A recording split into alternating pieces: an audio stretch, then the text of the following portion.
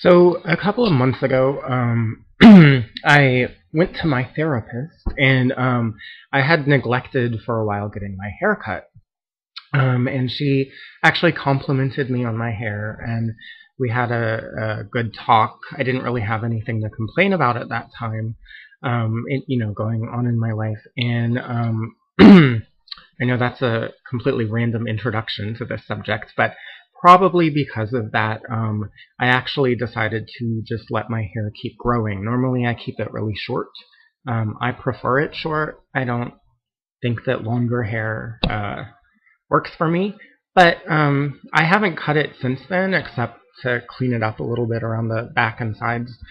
Um, and something strange occurred to me um, just a couple of days ago which I think may be a sign that um, I need my upcoming therapy appointment, or um, it's just something to think about.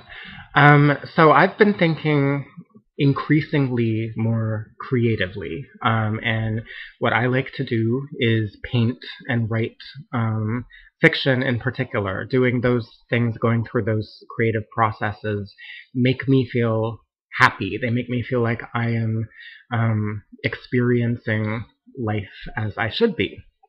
Um, and so, in general, those are therapeutic for me in a sense because otherwise um, I get very frustrated when I'm not thinking creatively, when my imagination isn't strong. Um, and as I said just a couple days ago, um, it occurred to me as my I, I, I was looking um, at some of uh, Leonardo da Vinci's work, and I saw him, and he had very, very long hair, and it um, struck me, and he had a very long beard.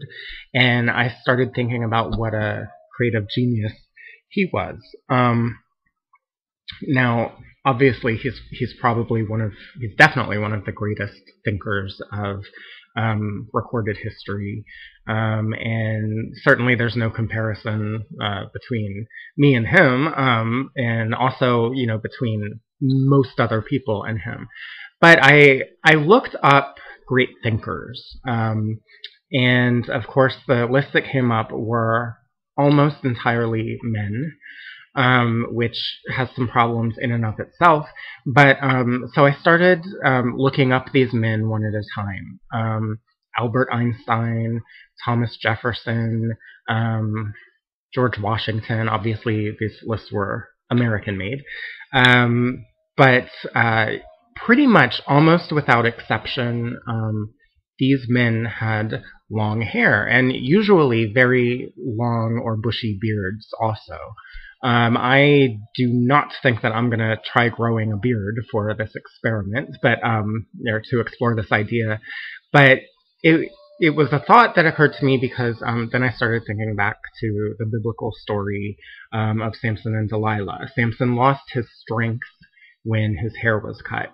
And um, lately I've been watching these TV shows about bygone civilizations and the technologies that they may have possessed to build the pyramids and things like that um, with great precision.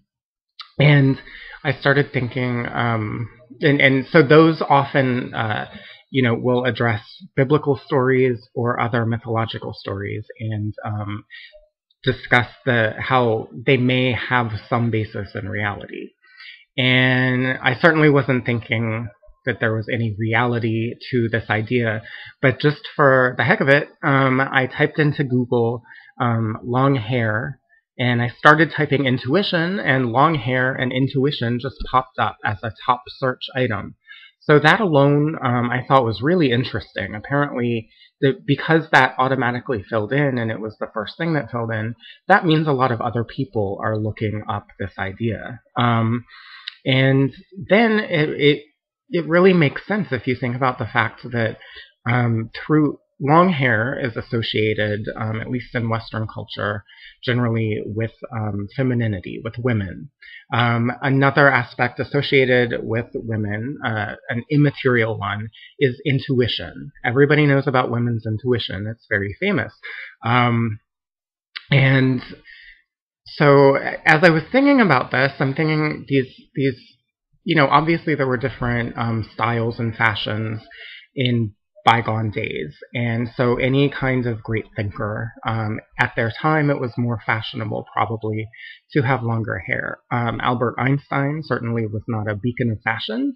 And when he had his crazy long hair, um, it wasn't um, probably very in vogue, but nevertheless he had it, and it's it's just curious that there are a lot of really crazy looking great thinkers, and they have long hair. Also, that long hair is associated with um, women, and we associate intuition with women as well.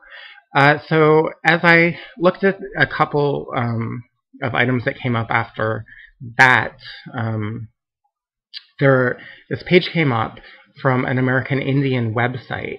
Um, and I will put a link here, but I also will just read a little bit about it because I thought it was very um, interesting. Uh, it's called The Truth About Hair and Why Native Indians Should Keep Their Hair Long.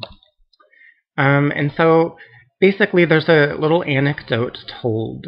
Um, in the early 90s, Sally, name changed to protect privacy, was married to a licensed psychologist who worked at a VA medical hospital. He worked with combat veterans with PTSD, post-traumatic stress disorder. Most of them had served in Vietnam. Sally said, I remember clearly an evening when my husband came back to our apartment on Doctor's Circle, carrying a thick, official-looking folder in his hands. Inside were hundreds of pages of certain studies commissioned by the government. He was in shock from the contents. When he read those documents, what he read in those documents completely changed his life. From that moment on, my conservative, middle-of-the-road husband grew his hair and beard and never cut them again. What is more, the VA Medical Center let him do it, and other very conservative men in the staff followed his example. As I read the documents, I learned why. It seems that during Viet the Vietnam War, special forces in the War Department had sent undercover experts to comb American Indian reservations looking for talented scouts, for tough young men trained to move stealthily through the terrain. They were especially looking for men with outstanding, almost supernatural tracking abilities before being approached, and then there's some weird break in the text, but um, once enlisted, an amazing thing happened. Whatever talents and skills they had possessed on the reservation seemed to mysteriously disappear as recruit after recruit failed to perform as expected in the field. This was after they had had their hair cut. Serious casualties and failures of performance led the government to contract contract expensive testing of these recruits, and this is what was found. When questioned about their failure to perform as expected, the older recruits replied consistently that when they received their required military haircuts, they could no longer sense the enemy. They could no longer access a sixth sense. Their intuition was no longer reliable. They couldn't read subtle signs as, as well or access subtle extrasensory information. So the Testing Institute recruited more Indian trappers, let them keep their hair long, and tested them in multiple areas.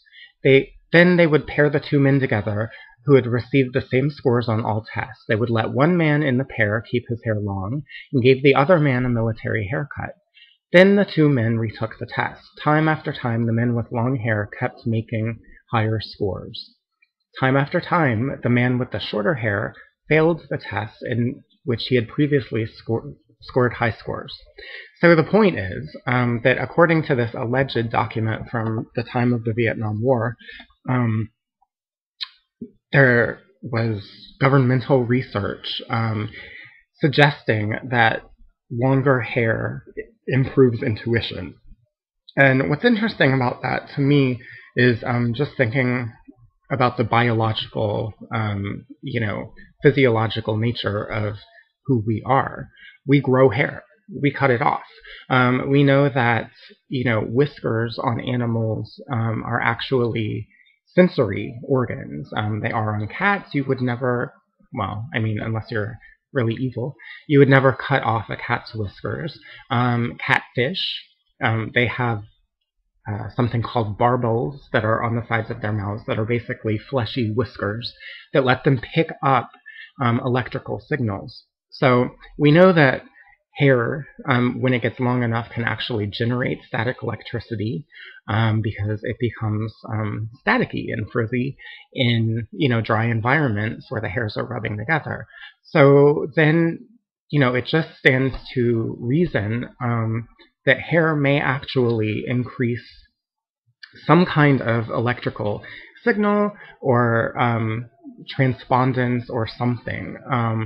So it, it's just something to think about. Um, I'm not planning on letting my hair get really long and growing a beard or anything, but it's now it's about as long um, as it's ever been. Uh, although I don't, you know, wear it down in my face. Um, also, it's it's just also maybe a little bit interesting that um, emo guys in the 80s and then again in the 2000s uh, have longer hair. It's associated with being emo, which is emotional, and along with those emotions, um, we can probably assume there would be um, greater intuition or more interest in being intuitive. So um, just something to think about. I again, I'm my mind is working in overdrive. Could be a sign that I need to go um, on a new medication or something, but I don't think so. I think I'm just being, my creative output is improving. Um, I have all these ideas about things that I want to paint. I have various different things that I'm interested in writing right now, and I'm just having a hard time keeping up with all of these ideas. Um, and does it have anything to do with having longer hair? I don't know. Uh,